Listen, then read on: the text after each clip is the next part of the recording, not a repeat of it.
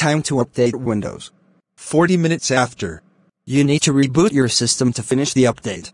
One hour after rebooting the system. Why did that took a long time to update? I hear good things about Linux. I will give it a try. 10 minutes later. He installed Linux Mint. Linux needs a update. Time to update. Sudo apartment get upgrade. No reboot needed. 5 seconds later.